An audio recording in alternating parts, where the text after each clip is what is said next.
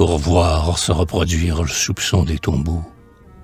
On ne s'embrasse plus, la souffrance s'anime. Poitrine comme un incendie bien isolé, vaincu. Le feu ne connaît plus son semblable qui dort. Il prend des ciseaux des jours et des nuits par la main. Il descend sur les branches les plus basses. Il tombe, il a sur terre les débris du nombre.